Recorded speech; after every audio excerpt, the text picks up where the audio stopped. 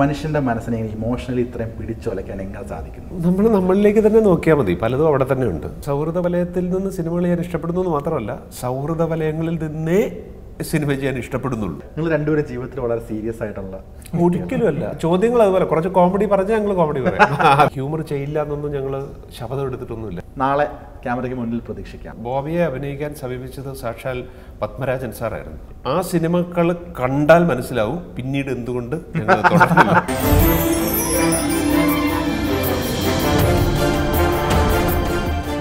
welcome to real trial. Real ട്രയലിന്റെ അൻപതാമത്തെ എപ്പിസോഡിലേക്ക് എല്ലാവർക്കും സ്വാഗതം. ഇന്ന് ഞാൻ കുറച്ച് ടെൻഷനാണ്. കാരണം എബോ ആവറേജ് ഐക്യമുള്ള രണ്ട് എഴുത്തുകാരാണ് എന്റെ എന്റെ കൂടെ ഉള്ളത് ബോബിയും സഞ്ജയ്. ബോബി ചേട്ടാ സഞ്ജയ് ചേട്ടാ സ്വാഗതം. താങ്ക് യു ഫസ്റ്റ് നമുക്ക് കാണേക്കാണലിൽ നിന്ന് നമുക്ക് പുറകോട്ട് വരാം. അപ്പോൾ കാണേ കാണേൽ നിനക്ക് മാത്രമല്ലടാ ജീവിതം എന്ന് സുരാജിന്റെ കഥാപാത്രം പറയുന്ന ആ ഒരു ഡയലോഗ് പറയാൻ പറ്റാതെ നിൽക്കുന്ന ഒരുപാട് അച്ഛന്മാരിൽ കേരളത്തിലുണ്ടാവും.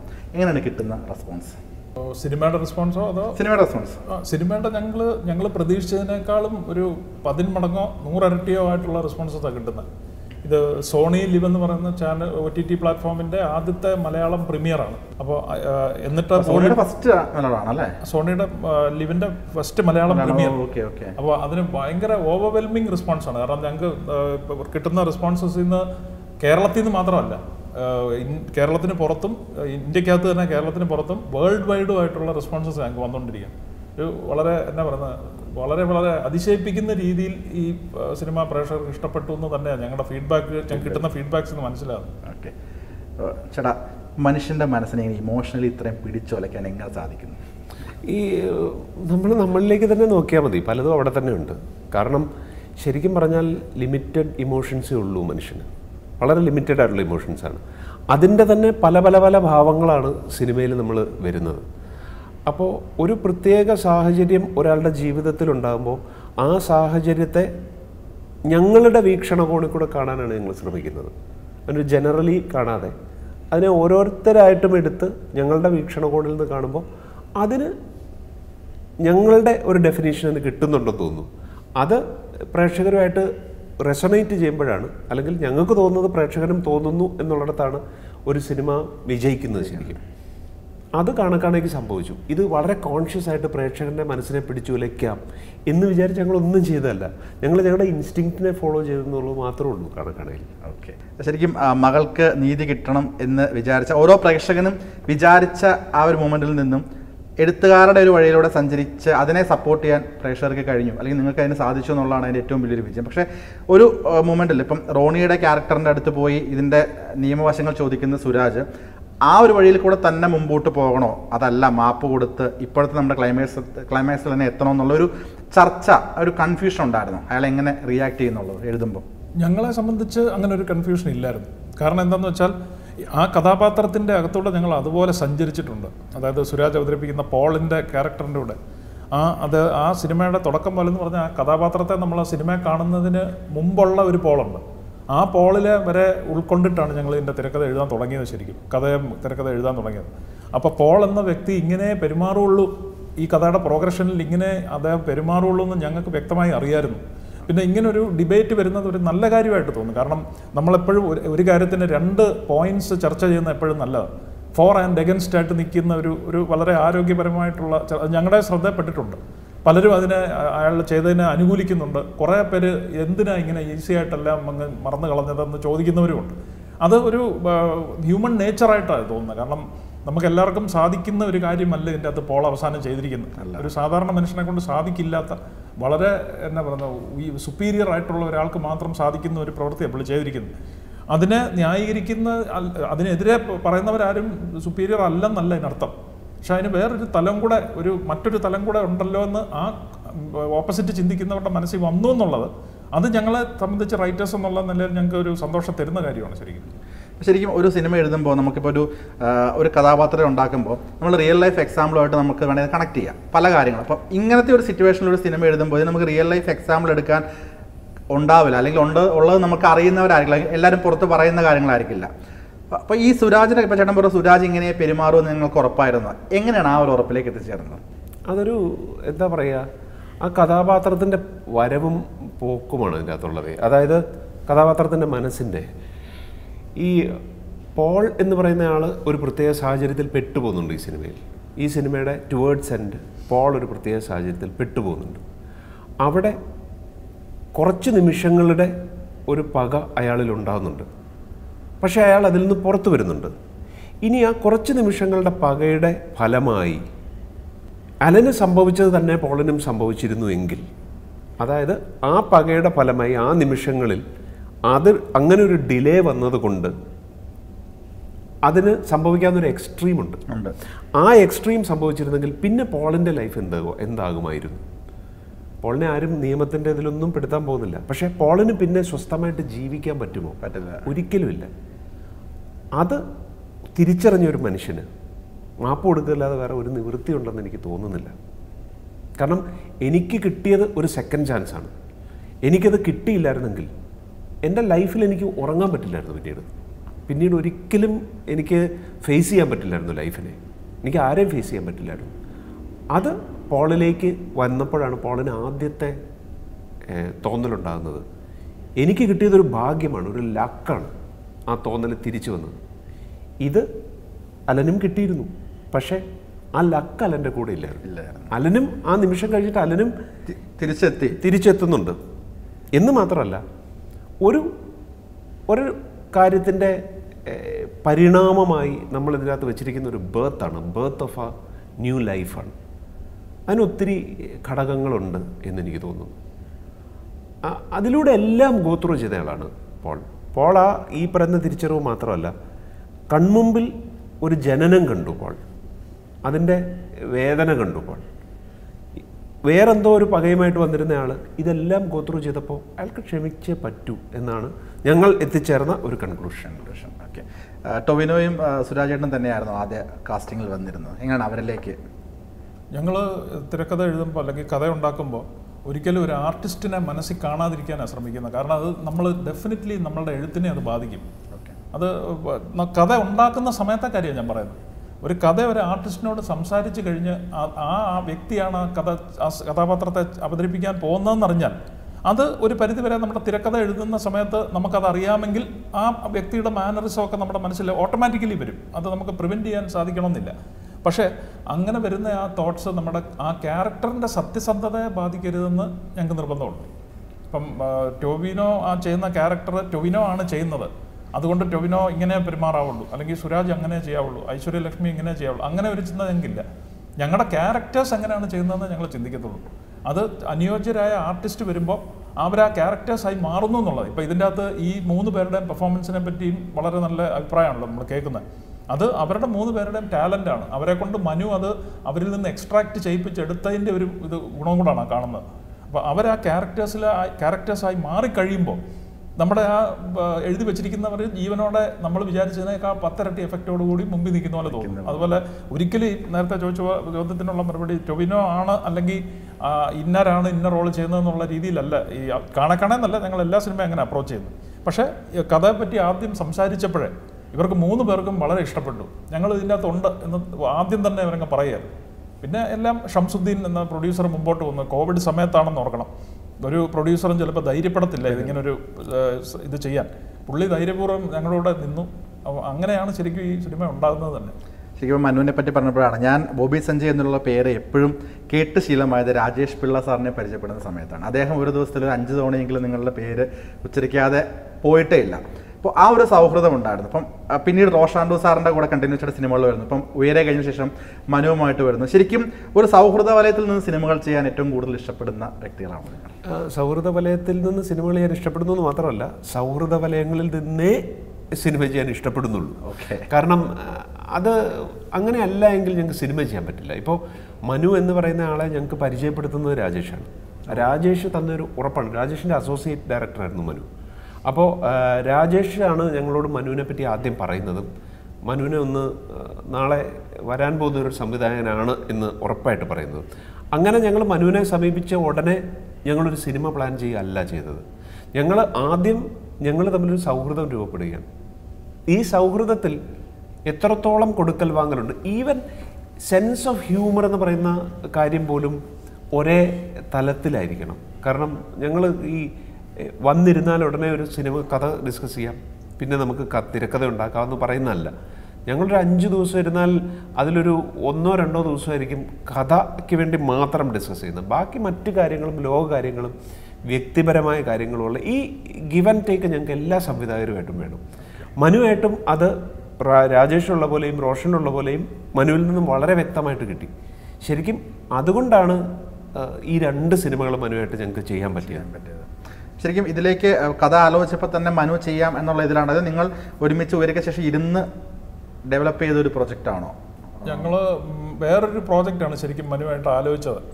അങ്ങനെ വന്നപ്പോഴേ ഈ ലോക്ക്ഡൗൺ വന്നപ്പെട്ടത് അങ്ങനെ വരുമ്പം നമുക്കറിയാം സിനിമ ഷൂട്ടിംഗ് സ്തംഭിച്ചു. നമുക്ക് വളരെ റെസ്ട്രിക്ഷനോട് കൂടി മാത്രമേ ലോക്ക്ഡൗണിൽ സിനിമ ചെയ്യാൻ പറ്റത്തുള്ളൂ. ഗവൺമെന്റ് റൂൾ പ്രകാരം അതേ പറ്റത്തുള്ളൂ. ഷൂട്ടിംഗ് ഈസി ആയിട്ട് നടക്കത്തുമില്ല.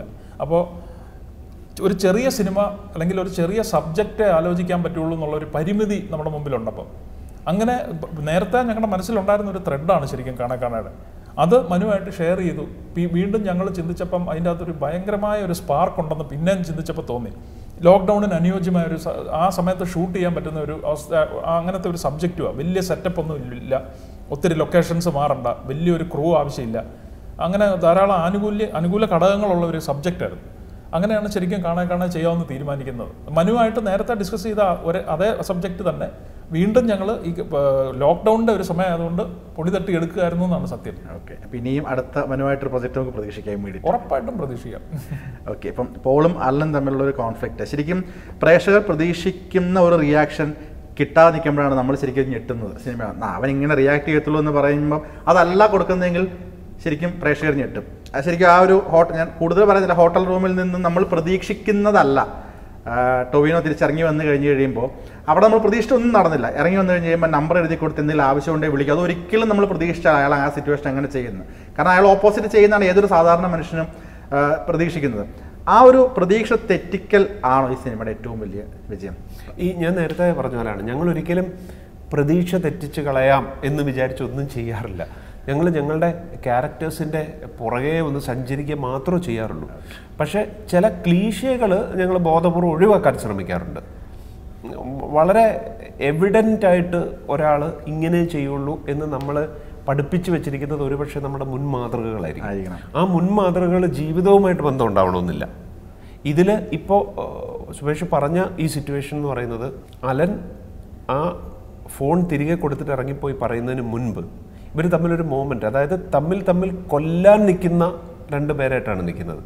അവിടെ ഒരു പഴയ സ്നേഹാനുഭവം ഇവരിൽ ആരോ ഓർത്തു പോകുന്നുണ്ട്. ഞങ്ങൾ അവിടുന്ന് വന്നവരാണല്ലോ എന്നുള്ളൊരു തോന്നൽ ഇവരിൽ ആർക്കും ഉണ്ടാകുന്നുണ്ട്. ഈ പഴ പണ്ടങ്ങനെ ഒരു സ്നേഹാനുഭവം ഉള്ളിടത്തെ പകയില്ലാതാകലും മാപ്പ് കൊടുക്കലും ഒക്കെ നടക്കുകയുള്ളൂ. അവിടെ എത്തിയപ്പോൾ അലനെ സംബന്ധിച്ച് അയാൾ ഒരു റിസൈൻഡ് പേഴ്സൺ ആയിരുന്നു. ഞാൻ എന്ത് ചെയ്യാൻ? എന്ന് പറഞ്ഞാൽ പോളിന്റെ എല്ലാം വികാരങ്ങളും വിചാരങ്ങളും അയാൾ കണ്ടു കഴിഞ്ഞു. എന്നെ കൊല്ലണമെന്ന് ആഗ്രഹിക്കുന്ന ഒരാളാണ് മുമ്പിൽ നിൽക്കുന്നതെന്ന് വരെ അയാൾ കണ്ടു കഴിഞ്ഞു. ഇങ്ങനെ ഓരോ കഥാപാത്രങ്ങളുടെയും എടുത്തു പോകുമ്പോൾ നമുക്ക് കിട്ടുന്ന ഒരു സ്വാഭാവിക വഴിയിലൂടെയാണ് സാധാരണഗതിയിൽ ഞങ്ങൾ സഞ്ചരിക്കാറുള്ളത്. കാണേക്കാണേലും അങ്ങനെ തന്നെയാണ്. അല്ലാതെ അപ്രതീക്ഷിതമായി എന്തെങ്കിലും ചെയ്യണമെന്ന് ഞങ്ങൾ വിചാരിച്ചിട്ടില്ല. ബോധപൂർവം വിചാരിച്ചിട്ടില്ല. ഈ ഒരു ടൈറ്റിലേക്ക് എത്തിയാണ് കാണേ കാണേ. കുറേ ടൈറ്റിൽസ് ആലോചിച്ചു. ഇപ്പം ശരിക്കും പറഞ്ഞാൽ ഞങ്ങൾക്ക് ചിലപ്പോൾ തോന്നാറുണ്ട് ഈ സ്ക്രിപ്റ്റ് എഴുതുന്നതിനേക്കാൾ പാടാ ഒരു ടൈറ്റിൽ കിട്ടുക എന്നുള്ളത്. ആ ടൈറ്റിൽ ചില സിനിമകൾക്കൊരു ഭാഗ്യമുള്ളത്. ആദ്യം അനൗൺസ് ചെയ്യുമ്പോൾ ഒരു വലിയ ഇമ്പ്രസീവ് ടൈറ്റിലൊന്നും ആയിരിക്കുകയില്ല സിനിമ ഹിറ്റാകുമ്പം ഓട്ടോമാറ്റിക്കലി ടൈറ്റിലും ഹിറ്റാവും. പക്ഷേ ഐഡിയലി ഒരു സിനിമയ്ക്ക് ഒരു ക്യാച്ചി ടൈറ്റിലാണ് വേണ്ടത്. പെട്ടെന്ന് ശ്രദ്ധ ആകർഷിക്കുന്ന ഈ സിനിമയിൽ എന്തോ ഉണ്ട് എന്ന് പറയുന്ന രീതിയിലുള്ള ഒരു ടൈറ്റിലാണ് ഏതൊരു സിനിമയ്ക്കും നല്ലത്. പിന്നെ ഓഫ് കോഴ്സ് അത് കഥയായിട്ട് ചേർന്ന് നിൽക്കണം. കഥയായിട്ട് ഒരു ബന്ധമില്ലാത്തൊരു ടൈറ്റിൽ ഒട്ടും നല്ലൊരു കാര്യമല്ലല്ലോ. അപ്പം അങ്ങനെയാണ് ശരിക്കും പല പല ടൈറ്റിൽസ് ആലോചിച്ചു ധാരാളം ടൈറ്റിൽസ് ആലോചിച്ചിട്ടാണ് കാണാ കാണാ എന്നുള്ള ഒരു ഇതിലേക്ക് എത്തിയത്. അത് ഈ പറഞ്ഞ പോലെ കഥയ്ക്ക് അനുയോജ്യമായ ഒരു ടൈറ്റിലാണെന്ന് നിങ്ങൾ കരുതുന്നു. കാരണം നമ്മൾ കാണുന്ന സ്ഥല അനുസരിച്ച് അൺഫോൾഡ് ചെയ്ത് ചെയ്യപ്പെട്ടുകൊണ്ടിരിക്കുന്ന ചില സംഭവങ്ങളാണ് നമ്മൾ കാണുന്നത്. അങ്ങനെ നോക്കുമ്പോൾ വളരെ ആപ്റ്റായിട്ടുള്ള ഒരു ടൈറ്റിലായിട്ട് തന്നെയാണ് കാണാ കാണാൻ വന്നിരിക്കുന്നത്. നമ്മൾ ആസ് യു വാച്ച് എന്നുള്ള ടാഗ്ലൈൻ കാണാ കാണയുടെ ഇംഗ്ലീഷ് തർജിമ തന്നെയാണ് ആസ് യു വാച്ച് എന്നുള്ളത്.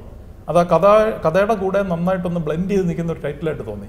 വിജയം പോലെ തന്നെ ഇമ്പോർട്ടന്റ് ആണ് പരാജയം. ഒരുപക്ഷെ വിജയത്തിനേക്കാൾ കൂടുതൽ നമ്മളെ ബാധിക്കുന്നതും പരാജയമാണ്. ശരിക്കും ലൈഫിൽ സിനിമ ഇപ്പം സ്കൂൾ ബസ് അത്ര ചർച്ച ചെയ്യപ്പെട്ട ഒരു സിനിമയല്ല അങ്ങനെ സിനിമകൾ പരാജയമാവുന്ന അല്ലെങ്കിൽ ചർച്ച ചെയ്യപ്പെടാതെ വന്നു കഴിയുമ്പോൾ അത് ബാധിക്കാറുണ്ട്. അടുത്ത സ്ക്രിപ്റ്റ് എഴുതുമ്പോൾ കുറച്ചുകൂടെ കോൺഷ്യസ് ആവാറുണ്ട്. തീർച്ചയായിട്ടും ബാധിക്കാറുണ്ട്. കാരണം നിങ്ങൾ എഴുതിയ തൊണ്ണൂറ്റഞ്ച് ശതമാനം ഹിറ്റാണ് എന്നാലും ഈ പറയുന്ന പോലെ പരാജയങ്ങൾ വരുമ്പോൾ തീർച്ചയായിട്ടും ബാധിക്കുകയും എന്തുകൊണ്ടാണ് ആ പരാജയം ഉണ്ടാകുന്നതെന്ന് ചിന്തിക്കുകയും കാരണം ഞങ്ങൾ വിശ്വസിക്കുന്ന ഒരു കാര്യം ഒരു സിനിമ പരാജയപ്പെട്ടിട്ടുണ്ടെങ്കിൽ ആ സിനിമയിൽ എന്തോ പ്രോബ്ലം ഉള്ളതുകൊണ്ടാണ് അല്ലാതെ ഞങ്ങളൊരു നല്ല പടം എഴുതി അത് ആൾക്കാർക്ക് മനസ്സിലായില്ല. അതുകൊണ്ട് പരാജയപ്പെട്ടു എന്ന് പറയുന്ന ഒരു വാദത്തോട് ഞങ്ങൾ യോജിക്കുന്നില്ല. ഞങ്ങൾ കൂടുതലും എന്താ പറയുക നമ്മൾ കമേഴ്ഷ്യൽ അല്ലെങ്കിൽ മധ്യവർത്തി എന്നൊക്കെ പറയാവുന്ന രീതിയിൽ സിനിമ എഴുതുന്ന ആൾക്കാരാണ്. ഞങ്ങളെ സംബന്ധിച്ച് ഏറ്റവും കൂടുതൽ ആൾക്കാർ കാണുക എന്നുള്ളതാണ് ഞങ്ങളുടെ സിനിമകളിലൂടെ ഞങ്ങൾക്ക് ഏറ്റവും ആഗ്രഹം. ഒരു ഞങ്ങളുടെ ഏറ്റവും ആഗ്രഹം അതാണ്. അപ്പോൾ അവിടെ ആൾക്കാർ വരാതിരിക്കുന്നുണ്ട് എങ്കിൽ ആൾക്കാരത് കാണുന്നില്ല എങ്കിൽ ഇഷ്ടപ്പെടുന്നില്ല എങ്കിൽ ആ സിനിമയിൽ എന്തെങ്കിലും പ്രോബ്ലം ഉണ്ടോ എന്ന് ഞങ്ങൾ തിരിച്ചറിയാൻ ശ്രമിക്കാറുണ്ട്. അത് കണ്ടെത്തിയിട്ടുമുണ്ട്. ഈ പറഞ്ഞ സിനിമകളിലൊക്കെ ഞങ്ങളുടെ പരാജയപ്പെട്ട സിനിമകളിലൊക്കെ ഉള്ള പ്രോബ്ലംസ് ഞങ്ങൾ കണ്ടെത്തുമ്പോൾ അത് റിപ്പീറ്റ് ചെയ്യാതിരിക്കാൻ ശ്രമിക്കാറുണ്ട്. പക്ഷേ ഈ ബാധിക്കുക എന്ന് പറയുന്നത് അതൊരു ആ രീതിയിലൊരു പഠനമുണ്ട്. പിന്നെ അത് താൽക്കാലികമാണ്. ഒരു ഒരു രണ്ടാഴ്ച കഴിഞ്ഞ് അതിൽ നിന്ന് ഞങ്ങൾ പുറത്ത് ചാടാറുണ്ട്. കാരണം പുതിയ സിനിമ എന്തോ പിന്നെ ഫുൾ ഫോക്കസ് അതിലേക്കായിരിക്കും. ഓക്കെ ശരിക്കും ബോബി സഞ്ജയുടെ തിരക്കഥകൾ ഒരു അപ്പർ മിഡിൽ ക്ലാസ് ആളുകളുടെ പ്രശ്നങ്ങൾ അല്ലെങ്കിൽ ഇപ്പോൾ ഇത് ഇതിലാണെങ്കിൽ പോലും വളരെ സാധാരണക്കാരന്റെ ഒരു ചായക്കട അല്ലെങ്കിൽ സാധാരണക്കാരന്റെ ഒരു നാൽക്കാവല അങ്ങനത്തെ ഒന്നും സിനിമകളിൽ വളരെ കുറവാണ് കണ്ടിട്ടുള്ളത്. ഇപ്പോൾ ട്രാഫിക്കിലാണെങ്കിൽ പോലും സാധാരണ പോലീസുകാരുണ്ട് എന്നാലും അയാളുടെ കൂടുതൽ പ്രശ്നങ്ങളല്ല കാണിക്കുന്നത്. വേറൊരു ഇഷ്യൂലേക്കാണ് അപ്പോൾ എന്തുകൊണ്ടാണ് കുറച്ചുകൂടി ഒരു ഒരു വളരെ സാധാരണക്കാരന്റെ കഥ അങ്ങനത്തെ കഥാപാത്രങ്ങൾ കുറവ് കാണുന്നത് എന്തുകൊണ്ടാണ്? ആ, മനഃപൂർവം ചെയ്യുന്ന കാര്യമേ അല്ല. ശരിക്കും നിങ്ങൾ പരിചയിച്ച ഒരു ലൈഫ് സ്റ്റൈലിൽ നിന്ന് വരുന്നതാണ് ഒരുപക്ഷെ സബ് കോൺഷ്യസ്ലി അതായിരിക്കാം. പക്ഷെ ഒരിക്കലും ഞങ്ങളൊരു ഇപ്പം പറഞ്ഞത് മനഃപൂർവം ചെയ്യുന്ന ഒരു കാര്യമേ അല്ല. നമ്മളിപ്പോൾ ഒരു കഥ ആലോചിക്കുന്നു. അല്ലെങ്കിൽ ഒരു കഥയുടെ ഒരു ബീജം നമ്മുടെ മനസ്സിൽ വരുന്നു. ഉദാഹരണത്തിന് കാണക്കാണ്. ആ കഥ പ്ലേസ് ചെയ്യേണ്ട ഒരു പ്രതലമുണ്ട്. ഒരു ജോഗ്രഫിക്കൽ ഏരിയ ഉണ്ട്. അത് നടക്കേണ്ട ഒരു വീടുണ്ട്. അല്ലെങ്കിൽ രണ്ട് മൂന്ന് കഥാപാത്രങ്ങളുടെ വീടുണ്ട്. ചുറ്റുമുള്ള ക്യാരക്ടേഴ്സ് ഉണ്ട്. അത് ആ കഥയ്ക്ക് അനുയോജ്യമായ ക്യാരക്ടേഴ്സാണ് വന്നുപെടുന്നത്. ഇപ്പോൾ നമ്മൾ ഒരു ഇപ്പം നേരത്തെ ചോദിച്ച പോലെ ഒരു ചായക്കട അല്ലെങ്കിൽ ഒരു ചെറിയൊരു ഗ്രാമപ്രദേശം അങ്ങനെ ഒരു കഥ ആ സ്ഥലത്ത് വെക്കേണ്ട ഒരു കഥയാണെങ്കിൽ ഉറപ്പായിട്ടും ഞങ്ങളത് ചെയ്തിരിക്കും. കാരണം നമ്മൾ ഒരിക്കലും ഇന്ന സ്ഥലത്ത് വെക്കേണ്ട ഒരു കഥ എന്നുള്ളത് ചിന്തിച്ചെടുക്കാറില്ല. കഥ ബീജം ഡെവലപ്പ് ചെയ്ത് അത് ഡെവലപ്പ് ചെയ്ത് വരുമ്പോഴാണ് നമ്മൾ റിയലൈസ് ചെയ്യുന്നത് എവിടെ പ്ലേസ് ചെയ്താലാണ് നന്നായിരിക്കുന്നത് ഇതൊരു സിറ്റി ബാക്ക്ഗ്രൗണ്ട് ആണോ നല്ലത്? അതോ ഒരു ഏർബൻ അല്ല ഒരു റൂറൽ ബാക്ക്ഗ്രൗണ്ട് ആണോ? എന്നൊക്കെ നമുക്കൊരു ഏകദേശ ധാരണ കഥ ഡെവലപ്പ് ചെയ്യുമ്പോഴും ആ ക്യാരക്ടേഴ്സിനെ ഡെവലപ്പ് ചെയ്യുമ്പോഴാണ് വരുന്നത്. അത് ഒരിക്കലും ഒരു അതിനനുയോജ്യമായ ഒരു പ്രതലമാണ് ഞങ്ങളുടെ എല്ലാ സിനിമയിലും ഉണ്ടാക്കിയിട്ടുള്ളതെന്ന് ഞങ്ങൾ വിശ്വസിക്കുന്നു. ഓഫ് കോഴ്സ് ഭാവിയിൽ ഒരു ഗ്രാമീണ അന്തരീക്ഷമുള്ള ഒരു കഥ ചെയ്യുന്ന ഒരു സാഹചര്യം ഉണ്ടായാൽ അല്ലെങ്കിൽ അങ്ങ് അതിനനുയോജ്യമായ ഒരു കഥ വന്നാൽ തീർച്ചയായിട്ടും അത് ചെയ്യും. ഓക്കെ അപ്പോൾ നിങ്ങൾ ചേട്ടൻ കോട്ടയത്താണ് സെറ്റിൽ ചെയ്തേക്കുന്നത്. ചേട്ടൻ എറണാകുളത്താണ്. അപ്പം നിങ്ങളുടെ എഴുത്തിന്റെ പ്രൊസീജിയർ എങ്ങനെയാണ്? ഒരുമിച്ച് ഇരിക്കുകയാണ് അല്ലെങ്കിൽ ഒരാൾ എഴുതി ഇങ്ങോട്ടും അങ്ങോട്ടും കൊടുത്തിട്ട് റീറൈറ്റ് ചെയ്ത് വരികയാണ്. എങ്ങനെയാണ് എഴുത്തിലേക്ക് സ്ക്രിപ്റ്റിലേക്ക് വരുമ്പോൾ എങ്ങനെയാണ് നിങ്ങൾ എഴുത്തിന്റെ ഒരാളെ എഴുതി അങ്ങോട്ടും ഇങ്ങോട്ടും കൊടുക്കുകയല്ല. ഞങ്ങൾ ഏറ്റവും കൂടുതൽ ഫോണിൽ കൂടെ സംസാരിക്കുന്നവരാണ്. ഈ നമ്മളെ നമ്മൾ ഒരു ഒരു ഘട്ടം കഴിഞ്ഞാൽ പിന്നെ നമുക്ക് ആളെ മുഖതാവിൽ കാണണമൊന്നുമില്ല. അങ്ങോട്ടും ഇങ്ങോട്ടും എന്താ ഉദ്ദേശിക്കുന്നതെന്ന് മനസ്സിലാകാൻ. ഞങ്ങൾ ഫോണിൽ സംസാരിക്കുകയും വളരെ ഫ്രീക്വന്റ് ആയിട്ട് തമ്മിൽ കാണുകയും ചെയ്ത് ഡിസ്കസ് ചെയ്യുന്നതാണ്. പിന്നെ ഈ എഴുത്ത് പേപ്പറിൽ ആരാണ് പേന വെക്കുന്നത് എന്നുള്ളത് ഇമ്മെറ്റീരിയലാണ് കാരണം ഇതെല്ലാം ചർച്ച നടക്കുന്ന കാര്യങ്ങളാണ്. ഒരാൾ ആർക്കാണോ ആ ഗിവൺ ടൈമിൽ സമയമുള്ളത് അയാളായിരിക്കും പേപ്പറിലേക്ക് അത് പകർത്തുന്നത്. അത് പക്ഷേ നമ്മൾ ഓൾറെഡി എല്ലാം ഡിസ്കസ് ചെയ്ത് കഴിഞ്ഞ കാര്യമായിരിക്കും. അതൊരു എന്താ പറയുന്ന ഒരു കേട്ടെഴുത്തിന്റെ ജോലിയേ ഉള്ളൂ അവിടെ. അപ്പോൾ ഈ ഡിസ്കഷൻ നടക്കുക എന്ന് പറയുന്നത് പ്രധാനമായിട്ടും ഇപ്പം നടക്കുന്നത് ഫോണിലാണ്. ഫോണിൽ ഈ പറയുന്ന പോലെ ഒരാൾ ഒരു സീനിനെ ഒരു സീനിനെ പറ്റി രണ്ടുപേരും ചിലപ്പോൾ ഒരു ദിവസം ഒരു സീനായിരിക്കും ചർച്ച ചെയ്യുന്നത്. അങ്ങനെ അറുപത് ദിവസം കൊണ്ടായിരിക്കും ചിലപ്പോൾ അറുപത് സീൻ ആകുന്നത്. ചില ദിവസങ്ങളിൽ പത്ത് സീനായിരിക്കും ഡിസ്കസ് ചെയ്യുന്നത്. അതിനിടയ്ക്ക് ചില ചിലയിടത്ത് ബ്ലോക്ക് ഉണ്ടാവാറുണ്ട്. ചിലതിനെ പറ്റി രണ്ട് വ്യൂ പോയിന്റ്സ് വരാറുണ്ട്. രണ്ട് പേരാകുമ്പോൾ രണ്ട് വ്യൂ പോയിന്റ്സ് വരാറുണ്ട്.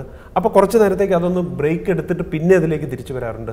അങ്ങനെ ഒരു പ്രോസസ്സാണത് രണ്ടുപേരും ഒരുമിച്ച് ആലോചിക്കുന്നു എന്ന് പറയുന്നത് അത്രത്തോളം സിമ്പിളാണത് ശരിക്കും. ഒരുമിച്ച് ആലോചിച്ചൊരു കാര്യം തീരുമാനിക്കുക എന്ന് പറയില്ലേ? ഇറ്റ്സ് ആ സിമ്പിൾ ആസ് ആ, ശരിക്കും അച്ഛനും കുടുംബപരമായിട്ട് സിനിമയിലുള്ള അപ്പം നിങ്ങൾ എഴുതുന്ന അല്ലെങ്കിൽ നിങ്ങൾക്ക് എന്തെങ്കിലും കൺഫ്യൂഷൻസ് ഒക്കെ വന്നു കഴിയുമ്പോൾ അച്ഛനോടൊക്കെ ഡിസ്കസ് ചെയ്യാറുണ്ട്. വീട്ടിൽ ഡിസ്കസ് ഡിസ്കഷൻസ് വരാറുണ്ടോ? ഞങ്ങൾ ആദ്യം മുതൽക്ക് തന്നെ ഞങ്ങളുടെ ഫസ്റ്റ് സീരി ഞങ്ങളുടെ ആദ്യ തിരക്കഥ അവസ്ഥാന്തരങ്ങൾ എന്ന് പറഞ്ഞ സീരിയലായിരുന്നു. പിന്നെ ആദ്യത്തെ സിനിമ എന്റെ വീട് പ്രിന്റ് രണ്ടും ഞങ്ങളുടെ ഫാദറാണ് പ്രൊഡ്യൂസ് ചെയ്തത്. അപ്പം ഞങ്ങളുടെ എല്ലാ കഥകളും തന്നെ അച്ചാച്ച അമ്മയായിട്ട് ഡിസ്കസ് ചെയ്യാറുണ്ട്. ഇപ്പോഴും. അന്നും അതെ ഇപ്പോഴും അതെ. കാരണം അവർ നല്ല ഓഡിയൻസാണ് നല്ല പ്രേക്ഷകരാണ് രണ്ടുപേരും. ഒരു ഒരു കഥ കേട്ടാൽ അതിനെപ്പറ്റി നല്ലതായിട്ട് ഒരു ജഡ്ജ്മെന്റ് തരാൻ നല്ല കെൽപ്പുള്ളവരാണ് പണ്ട് മുതലേ ആ ഒരു കഴിവുണ്ട്. ഒരു ഒരു ടേസ്റ്റ്ഫുൾ ആയിട്ടുള്ള നല്ല ഒരു ജഡ്ജ്മെന്റ് ഇൻട്രസ്റ്റിംഗ് അല്ലെങ്കിൽ ഇല്ല- അല്ലെന്ന് പറയും.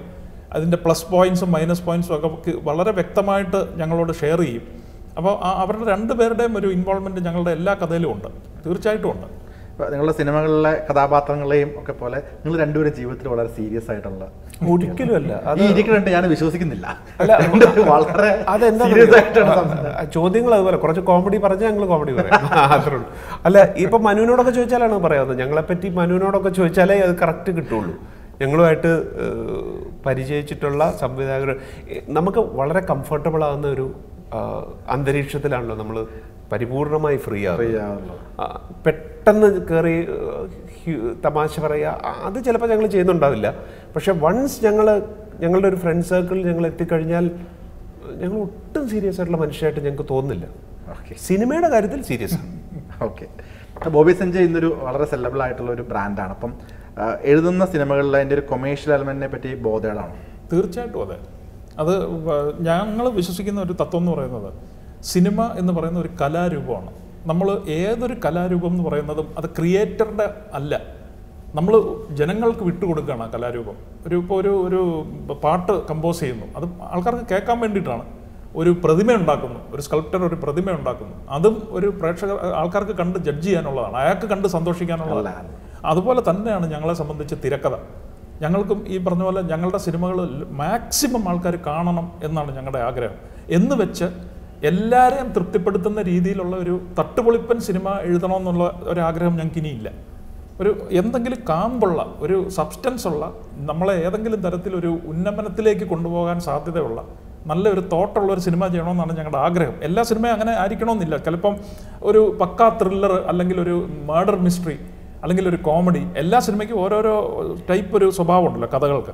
ആ ഇതിൽ മാറ്റം വന്നേക്കാം. പക്ഷേ ഒരിക്കലും ഒരു പക്ക എല്ലാ പ്രേക്ഷകരെയും തൃപ്തിപ്പെടുത്തുന്ന സിനിമ എന്നൊക്കെ പറഞ്ഞ് നമ്മൾ ചിലപ്പം പറയുമല്ലോ. അങ്ങനെ ഒരു സിനിമയോട് ഞങ്ങൾക്ക് യോജിപ്പില്ല.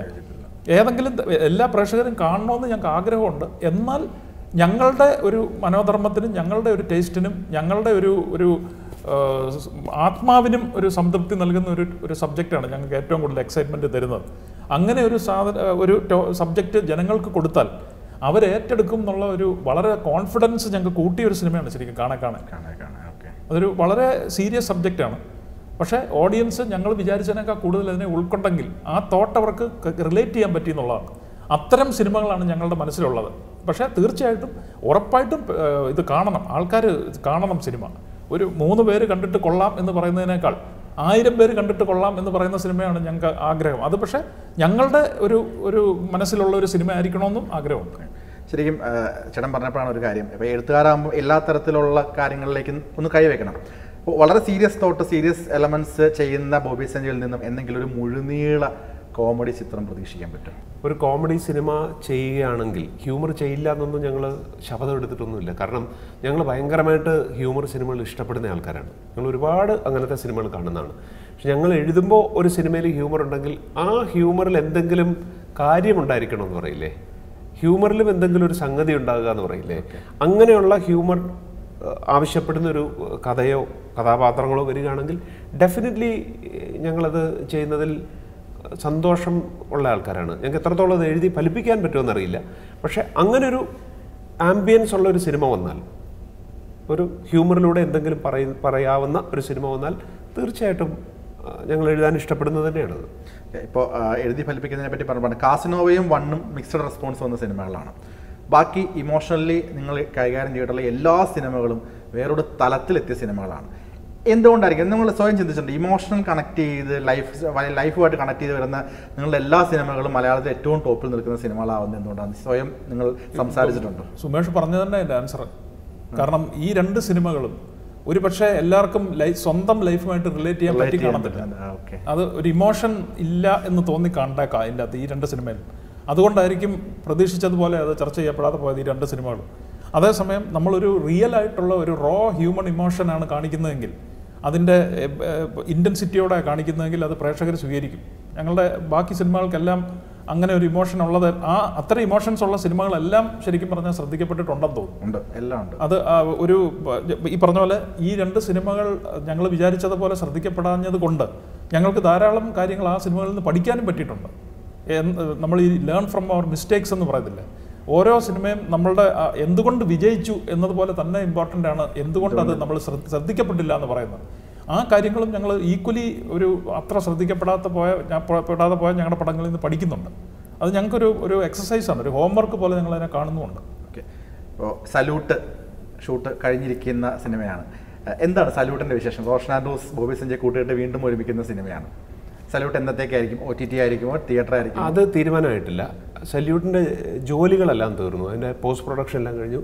സിനിമ റെഡിയാണ് ഒരു ആക്ഷൻ മൂഡിലുള്ള ഒന്നും പറയുന്നില്ല. ഇപ്പോൾ പറഞ്ഞാൽ ഇപ്പോൾ പറയാത്ത അതുകൊണ്ട് തന്നെയാണ് കേട്ടോ. അതിനെ അതിന്റെ ഒരു സീക്രസി മെയിന്റെയിൻ ചെയ്യാമെന്ന് വിചാരിച്ചിട്ട് തന്നെയാണ്. ഓക്കെ കാരണം ഏതൊരു കഥയുടെയും മനോഹാരിത എന്ന് പറയുന്നത് അതിന്റെ സീക്രസിയാണ് അത് അറിയാൻ വേണ്ടിയാണ് നമ്മളൊരു കഥ കാണുന്നതും കേൾക്കുന്നതും. ഇതും അങ്ങനെ തന്നെ ഇരിക്കട്ടെ എന്നുള്ളതാണ്. എന്നാലും ഞങ്ങൾക്ക് എഴുത്തിൽ തൃപ്തി തന്ന ഒരു സിനിമ തന്നെയാണ് സല്യൂട്ട്. സല്യൂട്ട്.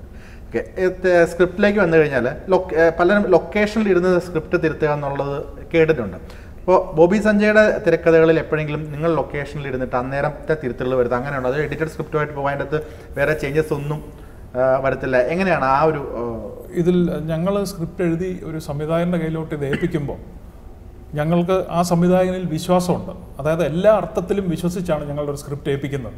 അപ്പോൾ അതിൽ പറയാതെ പറയുന്ന ഞങ്ങൾ തമ്മിലുള്ള ഒരു ധാരണ ഞങ്ങളും സംവിധായകനുള്ള ഒരു ധാരണ ഞങ്ങൾ ഒരാളുടെ എങ്കിലും ഒരാളെ കിട്ടിയില്ല മറ്റേ ആളെ അനുവാദമോ അല്ലെങ്കിൽ പറയാതെയോ ഒരു വാക്ക് പോലും ഒരു സ്ക്രീ സ്ക്രീൻ പ്ലേ മാറ്റില്ല എന്നുള്ളൊരു ഒരു പറയാതെ പറയുന്ന ഒരു അണ്ടർസ്റ്റാൻഡിംഗ് ഉണ്ട് ഞങ്ങൾ വർക്ക് ചെയ്യുന്ന സംവിധായകരുമായിട്ട്. അവർ ഇതുവരെ ഉള്ളവരെല്ലാം അങ്ങനെ പാലിച്ചിട്ടുമുണ്ട്.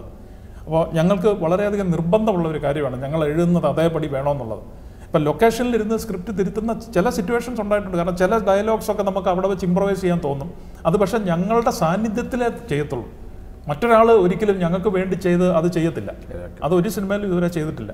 അപ്പോൾ ഞങ്ങൾക്ക് വേ വേണ്ടി ചെയ്യുന്നതിനേക്കാൾ ഞങ്ങളിൽ ഒരാൾ ലൊക്കേഷനിലുണ്ടെങ്കിൽ സംവിധായകനുമായിട്ട് ആലോചിച്ച് അല്ലെങ്കിൽ സംവിധായകനുമായിട്ട് ഡിസ്കസ് ചെയ്ത് അങ്ങനെ മാറ്റാറുണ്ട്. ഇതിൽ ചിലർ ഒരു മറ്റൊരു വേറൊരു രീതി ഇപ്പോൾ സ്ക്രിപ്റ്റിലെ ഹൺഡ്രഡ് പെർസെന്റ് ഫോളോ ചെയ്യാത്ത രീതിയിൽ ഇപ്പോൾ ഉണ്ട്. അതൊരു ഒരു ഒരു പ്രത്യേക ഒരു മനോഭാവത്തിൽ എടുക്കുന്ന സിനിമകളാണ്. അത് അത് അതിന്റെതായ നല്ല ഗുണങ്ങളും ആ സിനിമകൾക്കുണ്ട്. തീർച്ചയായിട്ടും അങ്ങനത്തെ സിനിമകൾക്ക് നല്ല ഗുണങ്ങളുണ്ട്. ഞങ്ങളെ സംബന്ധിച്ച് തിരക്കഥ എന്ന് പറയുന്നത് ആ സിനിമയുടെ നട്ടൽ എന്ന് പറയുന്ന സാധനം തന്നെയാണ്. കാരണം അതില്ലാതെ ഒരു ബൗണ്ട് സ്ക്രിപ്റ്റ് എന്ന് പറയണമെന്നില്ല. പക്ഷേ ഒരു ശക്തമായ ഒരു തിരക്കഥ ഇല്ലാതെ ഒരു കയ്യിൽ കയ്യിലൊരു നല്ല നല്ലൊരു ഒരു ഫൗണ്ടേഷൻ ഇല്ലാതെ നമുക്കൊരു വീട് പണിയാൻ പറ്റത്തില്ല. എന്ന് പറയുന്ന പോലെ തന്നെ ഒരു തിരക്കഥ ഇല്ലാതെ ഒരിക്കലും ഒരു നല്ല സിനിമ ഉണ്ടാക്കാൻ പറ്റത്തില്ല. അത് അതൊരു അതൊരു റിയാലിറ്റിയാണ് ഞങ്ങളെ സംബന്ധിച്ച്. അതിൽ നിന്ന് വിഭിന്നമായി ചിന്തിക്കുന്ന ധാരാളം പേര് ഇപ്പോൾ സിനിമയിലുണ്ട്. അവരവരുടേതായ രീതി സിനിമകൾ ഉണ്ടാക്കുന്നുണ്ട്. അവ ശ്രദ്ധിക്കപ്പെടുന്നുമുണ്ട്. അത് ഞങ്ങൾക്ക് ചേരുന്ന ഒരു ഒരു റൂട്ടല്ല. ഞങ്ങളുടെ സംവിധായകർക്കെല്ലാം ഞങ്ങളുടെ കൂടെ സിനിമ ചെയ്യുന്ന സംവിധായകരെല്ലാം ഞങ്ങളുടെ ഈ ഒരു രീതി വ്യക്തമായി മനസ്സിലാക്കിക്കൊണ്ട് തന്നെയാണ് ഞങ്ങളുടെ സിനിമ ചെയ്യാൻ വരുന്നത്. ഇപ്പോൾ ചേട്ടൻ നേരത്തെ പറഞ്ഞു ഫോണിലൂടെ ഡിസ്കഷൻ വരും ചിലപ്പോൾ ഒരു ദിവസം ഒരു സീനായിരിക്കും എന്നൊക്കെ പറഞ്ഞു. ഇപ്പോൾ കാണേ കാണേ എടുക്കുകയാണെങ്കിൽ ഏറ്റവും കൂടുതൽ നിങ്ങൾ സ്ട്രെയിൻ എടുത്ത ഒരു സിറ്റുവേഷൻ സീൻ കൺസ്ട്രക്ട് ചെയ്യാനുണ്ടായ ആ ഒരു സിറ്റുവേഷൻ ഏതായിരിക്കും? ഏതെങ്കിലും ഒരു സീൻ എടുത്തു കഴിഞ്ഞാൽ. പിന്നെ ഒരു ഒരു സീനായിട്ട് പറയാൻ പറ്റില്ല. പക്ഷേ കണക്കാണയുടെ ഒരു പ്രത്യേകത പറഞ്ഞു സാധാരണ ഞങ്ങളൊരു സ്ക്രിപ്റ്റ് എഴുതാൻ മിനിമം ഒരു എട്ട് മാസമാണ് ഞങ്ങൾക്കൊരു സ്ക്രിപ്റ്റ് എഴുതാനുള്ളത്. പക്ഷേ കാണക്കാണെ ഒരു ഒരു വരി കഥയിൽ നിന്ന് ആറ് മാസം കഴിഞ്ഞപ്പോൾ ആ സിനിമയുടെ പോസ്റ്റ് പ്രൊഡക്ഷൻ കഴിഞ്ഞ് ആ സിനിമ റെഡിയായി അപ്പോൾ ആറ് മാസമേ എടുത്തിട്ടുള്ളൂ. അതിന്റെ കഥ പോലുമല്ല. അതിന്റെ ഒരു വരി കഥ. ഇങ്ങനെ ഒരു സംഭവം ഒരു ആൾ ചെയ്യുന്നു അങ്ങനെ ഇതാണ് ഇതിന്റെ ഒരു ഒരു വരിയിൽ നമ്മളൊരു കഥ പറയില്ലേ? ഒരിടത്തൊരിടത്തൊരാളുണ്ടായിരുന്നു അയാൾ വരുന്നു. അയാൾ ഇങ്ങനെ ചെയ്യുന്നു. അയാൾ പോകുന്നു. ഇതായിരുന്നു ഞങ്ങളുടെ കയ്യിലുണ്ടായിരുന്നത്. ആറ് മാസം കഴിഞ്ഞപ്പോൾ ആ സിനിമ റെഡിയായിരുന്നു അതെങ്ങനെ സാധിച്ചു എന്നറിയില്ല. പക്ഷെ വളരെ പെട്ടെന്ന് എഴുതിയൊരു സ്ക്രിപ്റ്റാണ്. പിന്നെ ഈ പറയുന്ന പോലെ അതിൽ അലൻ എന്ന് പറയുന്ന ആൾ പെട്ടുപോകുന്നൊരു സിറ്റുവേഷൻ ഉണ്ട് അതിൽ അല്ലേ അതിൽ അദ്ദേഹത്തിന്റെ വൈഫിന് സംഭവിക്കുന്ന ഒരു കാര്യമാണ്. അതെങ്ങനെ വേണം എന്നുള്ളതിനെപ്പറ്റി ഞങ്ങൾ കുറേ കുറേ ചർച്ച ചെയ്തിരുന്നു. ഏതവസ്ഥയിലായിരിക്കും അലൻ അങ്ങനെ ചെയ്യുന്നത്? അത് അതിന് പല രീതികൾ ഞങ്ങൾ ആലോചിച്ചിരുന്നു. അതിപ്പോൾ നമ്മൾ കാണുന്ന രീതിയിലേക്ക് എത്താൻ എടുത്തൊരു സമയമാണ് എനിക്ക് എന്റെ ഓർമ്മയിൽ അതാണ് ഏറ്റവും സമയമെടുത്തൊരു ഏരിയ എന്ന് പറയുന്നത് കാണക്കണ്ടയിൽ. ഏതെങ്കിലും ഒരു സീനുകൾ പ്രേക്ഷകർക്ക് ഇത് കൺവിൻസിങ് ആവോ ഇല്ലോ എന്നൊരു കൺഫ്യൂഷൻ ഉണ്ടായിരുന്നു? നമുക്ക് എല്ലാ സിനിമയിലും എല്ലാ തിരക്കഥയിലും അങ്ങനെ ഒരു ഇതുണ്ടാവും. കാരണം നമ്മൾ നമ്മുടെ ഒരു ഒരു തിങ്കിങ്ങിലും നമുക്ക് ഏറ്റവും അനുയോജ്യമാണെന്ന് തോന്നുന്ന ഒരു കാര്യമാണല്ലോ എഴുതുന്നത്. തീർച്ചയായിട്ടും നമുക്കൊരു ആശങ്ക ഉണ്ടായിരിക്കും ഒരു പ്രേക്ഷകൻ എങ്ങനെ അത് കാണുന്നതെന്ന്. ഇപ്പം ഞങ്ങളുടെ ഒരു അനുഭവത്തിൽ തോന്നിയിട്ടുള്ള വളരെ രസകരമായിട്ടുള്ള ഒരു കാര്യം. നമുക്ക് വളരെ ആവറേജ് ആയിട്ട് തോന്നിയിട്ടുള്ള ഞങ്ങൾക്ക് വളരെ ആവറേജ് ആയിട്ട് തോന്നിയിട്ടുള്ള ചില സിനിമകളിലെ ചില സീനുകൾ പ്രേക്ഷകർക്ക് ഭയങ്കരമായിട്ട് ഇഷ്ടപ്പെട്ടിട്ടുണ്ട്. ഞങ്ങൾക്ക് ഞങ്ങൾ എഴുതുമ്പോൾ വളരെ ഭയങ്കരമായിരിക്കും എന്റെ റെസ്പോൺസ് എന്ന് തോന്നുന്ന ചില സീനുകൾ വളരെ നനഞ്ഞ പ്രതികരണം പ്രേക്ഷകരുടെ അതിൽ നിന്ന് കിട്ടിയിട്ടുമുണ്ട്. അത് പല സിനിമകൾക്കും കണക്കണ്ണട കാര്യമല്ല ഞാൻ പറയുന്നത് മൊത്തത്തിൽ. അത് പ്രേക്ഷകരുടെ ജഡ്ജ്മെന്റ് നമുക്ക് ഒരിക്കലും പ്രെഡിക്റ്റ് ചെയ്യാൻ പറ്റില്ല. അങ്ങനെ പ്രെഡിക്റ്റ് ചെയ്യാൻ പറ്റിയാൽ എല്ലാവർക്കും സൂപ്പർ ഹിറ്റുകൾ തന്നെ ഉണ്ടായിക്കൊണ്ടിരിക്കുക. നമുക്ക് ഒരിക്കലും പ്രേക്ഷകരുടെ മനസ്സ് പ്രെഡിക്റ്റ് ചെയ്യാൻ പറ്റില്ല. അവരെ എൻഗേജ് ചെയ്യിപ്പിച്ചുകൊണ്ടിരിക്കുക എന്ന് മാത്രമേ നല്ല ഒരു സ്ക്രിപ്റ്റിന്റെ അകത്ത് നമുക്ക് പറ്റത്തുള്ളൂ. അപ്പം അതുകൊണ്ട് അവരെ എത്രത്തോളം നമ്മളിലേക്ക് ആ സ്ക്രിപ്റ്റിലേക്ക് ആകർഷിക്കാമോ അത് മാത്രമേ നമുക്ക് അതിന്റെ അകത്തൊരു വഴിയുള്ളൂ. കായംകുളം കൊച്ചുണ്ണി പോലൊരു വലിയ സിനിമ അല്ലെങ്കിൽ ട്രാഫിക് പോലൊരു സിനിമ എന്നാണ് അടുത്തത്. കായംകുളം കൊച്ചുണ്ണി പോലൊരു വലിയ ക്യാൻവാസിലൊരു സിനിമ ഇനി അങ്ങനെ അങ്ങനെ അറിയില്ല. ഈ പറയുന്ന പോലെ വരുന്ന കഥ അത് ആവശ്യപ്പെടുന്നുണ്ടോ എന്ന് നോക്കുകയുള്ളൂ. ഇപ്പോൾ അടുത്ത പ്രോജക്ട്സ് ഏതൊക്കെയാണ് അതിന്റെ കൂടെ തന്നെ? അടുത്ത പ്രോജക്ട്സ് എന്ന് പറയുന്നത് ഇപ്പോൾ ഉള്ളത് സല്യൂട്ട് സല്യൂട്ടാണ് വരാനുള്ള സിനിമ. പിന്നെ നമ്മുടെ അതിരൻ എന്ന് പറയുന്ന സിനിമ സംവിധാനം ചെയ്ത വിവേകിന് വേണ്ടി ഒരു സിനിമയുണ്ട്. റോഷൻ ആൻഡ്രൂസിന് വേണ്ടി ഒരു സിനിമയാണ് ഇപ്പോൾ എഴുതുന്ന വേറൊരു സിനിമ. മനു അശോകന് വേണ്ടി ഒരു സിനിമയുണ്ട്. പിന്നെ പ്രിയദർശൻ സാറിന് വേണ്ടി ഒരു സിനിമയുണ്ട്. ഇത്തരം സിനിമകളാണ് ഇപ്പോൾ നമുക്ക് പറയാവുന്ന അവസ്ഥയിൽ നിൽക്കുന്ന സിനിമകൾ. പ്രിയദർശന പ്രിയദർശൻ സാറിന് വേണ്ടിയിട്ട് ആരാരെയും കാസ്റ്റ് എന്ന് ഒന്നും പറയാൻ ഇനീഷ്യൽ സ്റ്റേജിൽ സ്റ്റേജിലാണ് കഥാ തിരക്കഥാ സംഭാഷണം ബോബി സഞ്ജയ്. കഥാ തിരക്കഥാ സംഭാഷണം സംവിധാനം ബോബി സഞ്ജയ് എന്നായിരിക്കും. ഉടനെ സാധ്യത കാണുന്നില്ല. കാരണം എന്താന്ന് വെച്ചാൽ ഇപ്പൊ ഈ പറഞ്ഞ സിനിമകളില്ലേ ഇത് എഴുതി തീരുമ്പോ തന്നെ ഒരു സമയവും. അല്ലേ? പിന്നെ അത് മാത്രമല്ല എനിക്ക് തോന്നുന്നു ഭാവിയിലാണെങ്കിലും. സംഭവിച്ചേക്കാവുന്നേ ഉള്ളൂ. പക്ഷേ സംഭവിച്ചേക്കാം എന്നുള്ളതേ ഉള്ളൂ. പക്ഷേ ഇപ്പോൾ ഈ ഈ എഴുത്ത് പ്രോസസ്സ് ഞങ്ങൾ ഭയങ്കരമായിട്ട് എൻജോയ് ചെയ്യുന്നുണ്ട്. അതിനേക്കാൾ ഞങ്ങൾ സംവിധാനം എൻജോയ് ചെയ്യുന്ന ഒരു സമയം വരുന്നു എന്ന് ഞങ്ങൾക്ക് തോന്നുന്ന ഒരു സമയത്ത് ചിലപ്പോൾ ചെയ്തേക്കും. പക്ഷേ ഇപ്പോൾ ഇത്രയും സിനിമകൾ ചെയ്യാനുണ്ട്. അതിന് ഏറ്റവും വളരെ പ്രോസ് പിന്നെ എഴുത്തിന്റെ ഒരു സുഖം എന്താണെന്ന് വെച്ചാൽ നമുക്ക് നമ്മളെ ഉള്ളൂ. നമ്മൾ ഭയങ്കര ഒറ്റയ്ക്കിരുന്ന് ചെയ്യുന്ന ഒരു ജോലിയാണ് എഴുത്തെന്ന് പറയുന്നത്. അങ്ങനെ ഇരിക്കാൻ ഒത്തിരി ഇഷ്ടപ്പെടുന്ന ആൾക്കാരാണ് ഞങ്ങൾ കഴിവ് ഭയങ്കര ഒരു പ്രൈവസി ഇഷ്ടപ്പെടുന്ന ഒരു ആൾക്കാരാണ്. അതും ഒരു പക്ഷേ വളരെ അബോധപൂർവമായി അതിന്റെ ഒരു ഭാഗമാകുന്നുണ്ടായിരിക്കാം. അപ്പോൾ തൽക്കാലം ഈ സിനിമകൾ എഴുതി തീർന്നിട്ട് അതിന് ഉത്തരം പറയാതിരിക്കും ഇപ്പൊ ഞാൻ കേട്ടിട്ടുണ്ട് എഴുത്തുകാർ തമ്മിൽ തർക്കങ്ങൾ ഉണ്ടാവുന്ന കേട്ടു ഇപ്പോൾ ചേട്ടൻ പറഞ്ഞു നിങ്ങൾ ഫോണിൽ കൂടെയാണ് ഡിസ്കഷൻ നിങ്ങൾ തമ്മിൽ തർക്കിച്ച് അത്രയും വഴക്കിലേക്ക് അല്ലെങ്കിൽ ആരോഗ്യപരമായ തർക്കത്തിലേക്ക് എത്തിയ ഏതെങ്കിലും ഒരു സീനുകൾ കാണേ കാണലോ അല്ലെങ്കിൽ ട്രാഫിക് മുതൽ ഇങ്ങോട്ട് അല്ലെങ്കിൽ എന്റെ വീട് അപ്പോട്ട് ഇങ്ങോട്ട് ഏതെങ്കിലും അത്രയും തർക്കിച്ച് ദേഷ്യപ്പെട്ടിട്ടുള്ള സീനുകളൊക്കെ ഉണ്ട് ഞങ്ങളുടെ എല്ലാ സിനിമകളിലും അങ്ങനെ സംഭവിച്ചിട്ടുണ്ട് ഓക്കെ. കാരണം അങ്ങനെ സംഭവിക്കണം എന്ന് ഞങ്ങൾക്ക് ആഗ്രഹമുണ്ട്. കാരണം ഒരാളുടെ ചിന്ത തന്നെയാണ് ശരി എന്നുള്ളത് ആ മനോഭാവം തന്നെ രണ്ടുപേരും ഒരുമിച്ച് എഴുതുമ്പം ശരിയല്ലല്ലോ. ഇപ്പം രണ്ടുപേരുടെ പേരുടെ ചിന്ത ഒരുമിച്ച് വരുമ്പോഴാണ് ആ പ്രോഡക്റ്റ് സുപ്പീരിയർ ആകുന്നത് ശരിക്കും പറഞ്ഞാൽ. ഞങ്ങൾ ഒരിക്കലും ഒരാളുടെ ഈഗോ സാറ്റിസ്ഫാക്ഷന് വേണ്ടി ഇപ്പം തർക്കിച്ച് തർക്കിച്ച് ഞാനാണ് ശരി സഞ്ജു ആണ് ശരി എന്ന് പറഞ്ഞുള്ള രീതിയിലുള്ള ഒരു തർക്കമില്ല. ഞങ്ങൾ അവസാനം ചിലപ്പോൾ വളരെ വളരെ ആശയക്കുഴപ്പങ്ങൾ ഉണ്ടാകാറുണ്ട് ചില സീൻസിൽ. അത് ഞങ്ങൾ ഒരുപക്ഷെ ദിവസങ്ങൾ എടുത്തായിരിക്കും പിന്നെയും പിന്നെ ആലോചിച്ച് എന്ത് ചെയ്യണമെന്ന് ചെയ്യുന്നത്.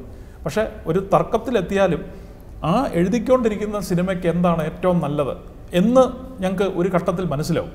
അങ്ങനെ ഒരു ഘട്ടത്തിൽ എത്തിക്കഴിഞ്ഞാൽ ആ പർട്ടിക്കുലർ ഇതായിരിക്കും കൺക്ലൂഷൻ ആയിരിക്കും ഞങ്ങൾ ആ സീനിൽ എടുക്കുന്നത്. ഓക്കെ. അതൊരു വളരെ ഹെൽത്തി ആയിട്ടുള്ള ഒരു കാര്യമായിട്ട് തോന്നുന്നു. കാരണം തർക്കിക്കാതെ ഒരു ആർഗ്യുമെന്റും ഇല്ലാതെ വളരെ സുഗമമായി എഴുതി പോകുന്ന ഒരു തിരക്കഥയ്ക്കകത്ത് ഒന്നും കാണുമെന്ന് എനിക്ക് തോന്നുന്നില്ല.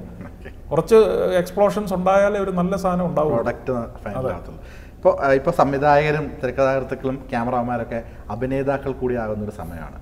ബോബി സഞ്ജയ് അഭിനയിക്കാൻ വേണ്ടിയിട്ട് ആരെങ്കിലും സമീപിച്ചിട്ടുണ്ട്? അങ്ങനെ സമീപിച്ചിട്ടുണ്ടെങ്കിൽ നാളെ ക്യാമറയ്ക്ക് മുന്നിൽ പ്രതീക്ഷിക്കാം. ഓ സമീപിച്ചിട്ടുണ്ട്. ബോബിയെ അഭിനയിക്കാൻ സമീപിച്ചത് സാക്ഷാൽ പത്മരാജൻ സാറായിരുന്നു. അത് ഏഴ് വയസ്സുള്ളപ്പോൾ ഏഴ് വയസ്സുള്ളപ്പോൾ പെരുവഴി അമ്പലം എന്ന് പറഞ്ഞ ഞങ്ങളുടെ ഫാദർ പ്രൊഡ്യൂസ് ചെയ്യുന്ന സിനിമയിൽ അദ്ദേഹം അഭിനയിച്ചിട്ടുണ്ട്. പെരുവഴി അതുപോലെ അമ്പലത്തിലാ? പെരുവഴി അമ്പലത്തിൽ ഞാൻ എനിക്ക് പതിനൊന്ന് വയസ്സുള്ളപ്പോൾ എന്റെ കാണാക്കുയിൽ എന്ന് പറഞ്ഞ സിനിമയിൽ അതും ഞങ്ങളുടെ ഫാദറാണ് പ്രൊഡ്യൂസർ ആ സമയത്ത് അഭിനയിച്ചിട്ടുണ്ട്. ആ സിനിമകൾ കണ്ടാൽ മനസ്സിലാവും പിന്നീട് എന്തുകൊണ്ട് ഞങ്ങൾ തുടർന്നില്ല അല്ല സീരിയസ്ലി ഇപ്പൊ ഈ ഒരു കാലഘട്ടത്തിൽ ആരും വിളിച്ചിട്ടില്ല?